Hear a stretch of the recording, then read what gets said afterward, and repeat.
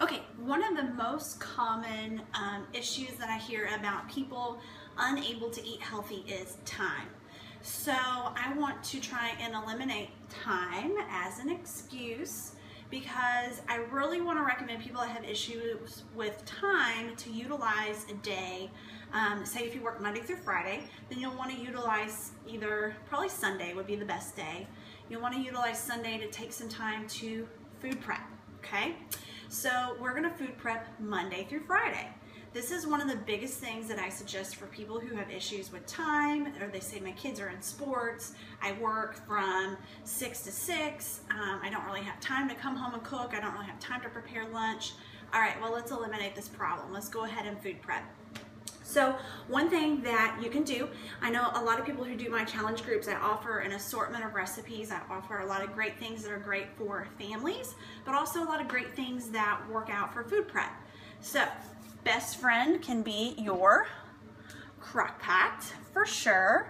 Okay, so you got your crock pot. You can make um, chicken in there. You can actually do the chicken salsa, which is just putting some chicken breasts in there, putting salsa. If you want to spice it up even more, you can do chicken, salsa, black beans, corn, and then serve that over something like quinoa or a bed of rice. You can eat that all through the week.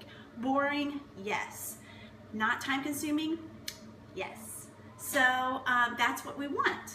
And another suggestion is turkey burgers. Turkey burgers, you can buy ground turkey. Make yourself five patties.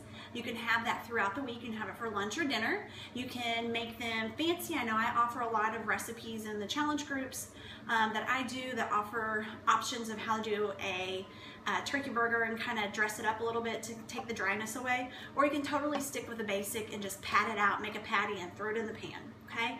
Then you also have the option of just grilling some grilled chicken. Okay, put grilled chicken um, in the oven, on the grill, put whatever spices you want. Preferably you want it to be something like Mrs. Dash that's salt-free.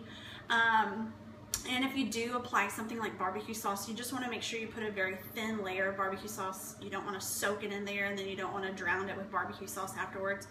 But, or you could put nothing on it and just um, serve it on top of a salad make five chicken breasts again. So if you make five turkey burgers, you make five chicken breasts, you just have Monday through Friday, you have a nice protein for lunch and then a nice protein for dinner, okay?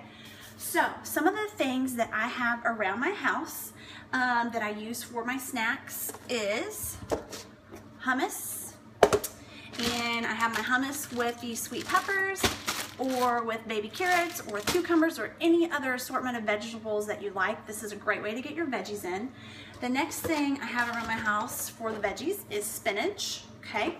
Spinach, I put a green container. If, if anybody's doing the 21 Day Fix, a green container um, is what I put of spinach into my Shakeology whenever I make my shake. So I also get my greens in there. Spinach is something you are not going to taste in your shake, I promise. Okay, so I always have these around.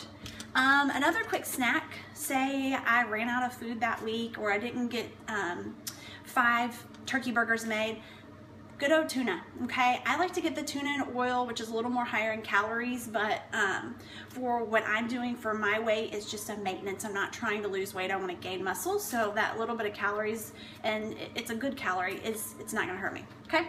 So you can also get tuna by itself, and one great thing about tuna, don't put mayonnaise in it, put Greek yogurt in it. Greek yogurt goes in everything. Um, I also take a single serving of Greek yogurt, throw in a little bit of PB2, um, or I'll throw in a little bit of cinnamon, cinnamon, stir it up, and it's a great snack, and it takes that sourness out of it, okay? If you want to keep the sourness, um, or they kind of keep a mayonnaise flavor, it's great, again, to add into your tuna, add into um, chicken, kind of make a chicken salad, or to top on anything as a sour cream. Perfect, okay? You're eliminating a lot of fat and calories by not using sour cream and definitely not using mayonnaise. All right, so fruits. I have grapes. I have apples in my house. I have a boatload of bananas because almost every morning I eat two eggs, one banana, and then I throw in some ground flaxseed and I stir it up till it's totally mixed and I make it like a pancake every morning. I top it with honey and a little bit of peanut butter. That's zero carbs and I just made myself a pancake. Then I just went and got fresh strawberries from Huber's. Um, so there's that.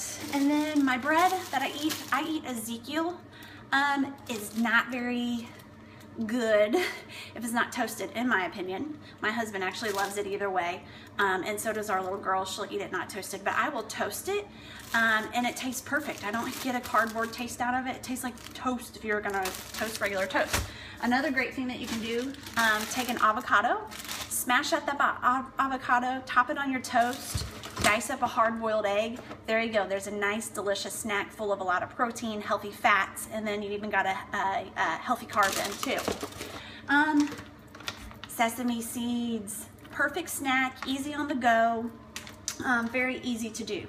So all of these things that I showed you, there is no excuse that you can't take some time on Sunday, sit down, plan out what you're gonna eat Monday through Friday. If you're that busy, don't just plan out lunch, go ahead and plan out dinner too. There should be no excuses. Um, and I'm not trying to be hard on anybody because I used to have these same excuses myself. I don't have time. Um, and now I'm finding time, even though I'm even busier. Um, I'm doing health and fitness coaching. I'm also a registered dental hygienist, and I have a two year old. Um, so I still find time to make time for me, and that's what's important.